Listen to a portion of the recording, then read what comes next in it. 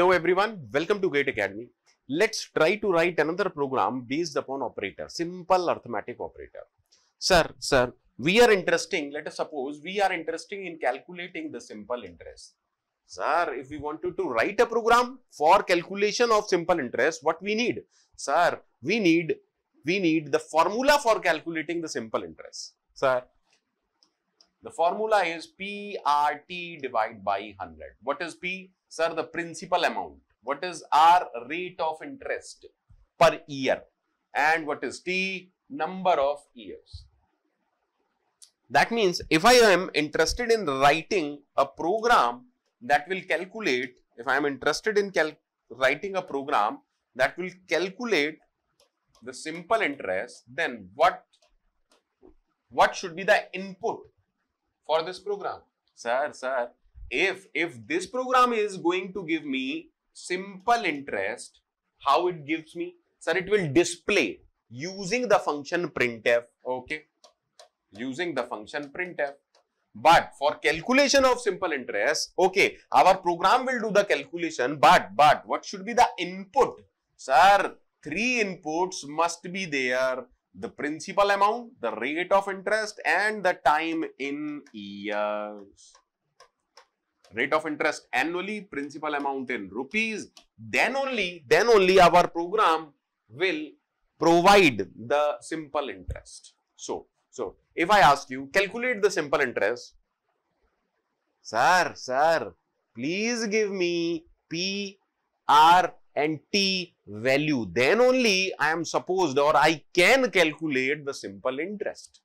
Okay. Sir, sir, sir. That means, that means user will provide these three inputs. Sir, how we are going to fetch them?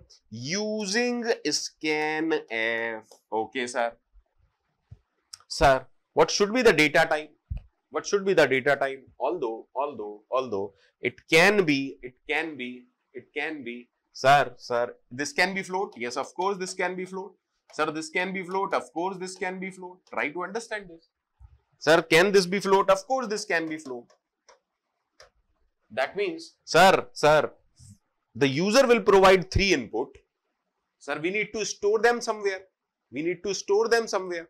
Where? Where the values are stored inside a program. Sir, we need variable. That means we need one variable for principal amount. We need one variable for rate of interest, one variable for time.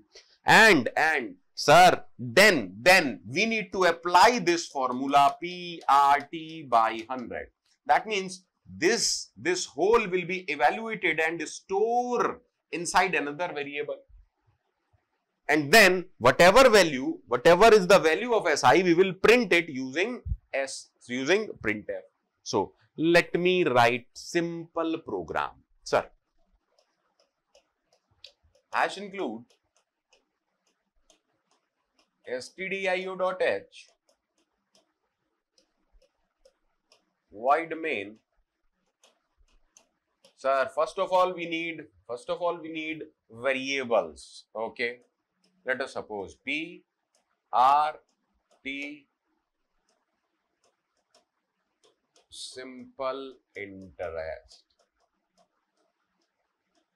okay what is the data type for all of them? Sir, the data type of all of them is float. Okay. Sir, next what we are supposed to write?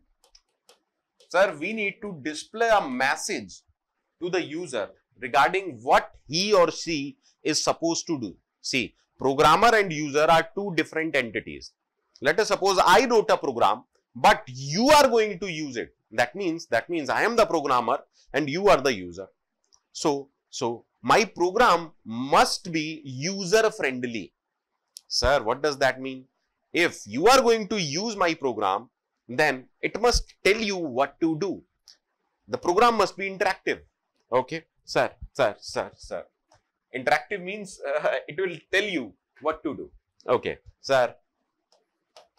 Enter the amount, principal amount rate of interest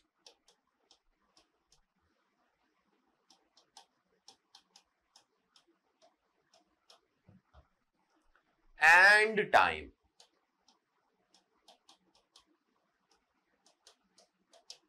This is a simple message. This is a simple message that will be printed as it is. Whatever you write in double quotes, it will be printed as it is. Okay, sir. Then, by reading this message, the user of your program gets to know that he or she must enter three values. Okay, sir, sir, in which format we wanted to read amount percentage F, in which format we wanted to read rate of interest, sir, percentage F, again percentage F, sir. What we want? The first value to get stored inside the variable amount. That's why we need to provide address of variable. See, from the very first line, from this line, four variables will be created. Sorry, it's not amount. The variable we used is P. Sir, first is P, then we have R, then we have T, and then we have SI. Now, if this is the monitor screen, the very first thing user is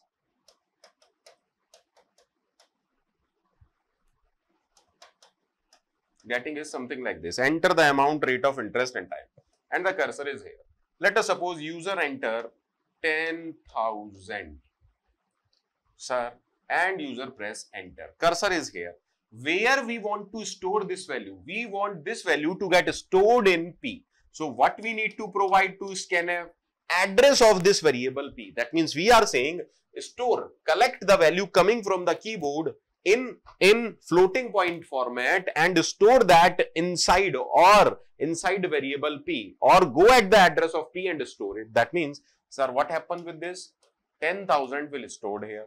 Similarly, where I wanted to store the rate of interest, sir, inside variable r and okay, that means, that means, sir, user is going to enter three values. Let us suppose that means second value go inside R, third value go inside. Done, sir. Perfectly okay.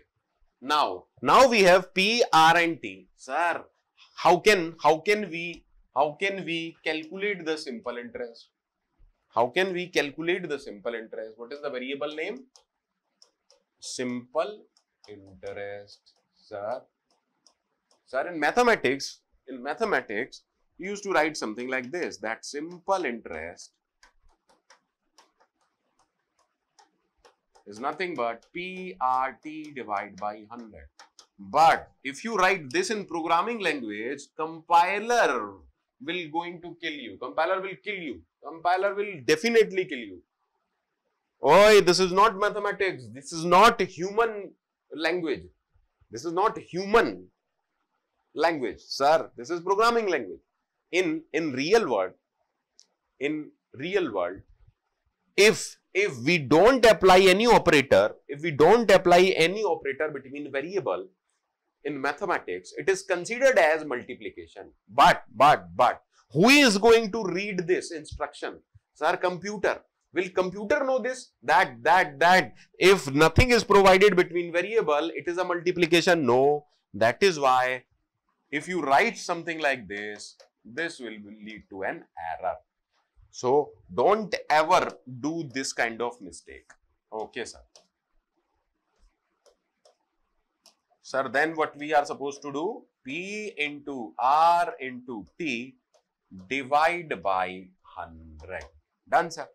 Perfectly okay. That means, sir, after calculation, whatever be the simple interest get stored inside the simple interest. If I am not wrong, 10,000 into 2 into 6 divided by 100, it is nothing but 600. Now, sir, simple interest is calculated by our program and it is, it is, it is residing inside a variable simple interest. Now, we are interested to print it. Sir, what should I do? What should I do? Use a printf. Okay. Printf the simple interest is the simple interest is sir what type of variable we have simple interest float percentage f and simple interest Done, sir. Sorry. Done, sir. That's a very simple program. We need to we need to know how program works because at last you need to write programs. At last you need to write program. So I know that this program is a very simple program, but for beginners, they will get an idea, insight about how to write program, how to take input, how to print, how to calculate it. So again, what about this? Sir, this is declaration. This is declaration. Sir, what about this? Taking input from the user. What about this? Sir, calculation part. Or you can say logic. Okay. And what about this? Sir, this is the output. See the importance of each and every kind of statement. Each and every kind of statement has its own importance.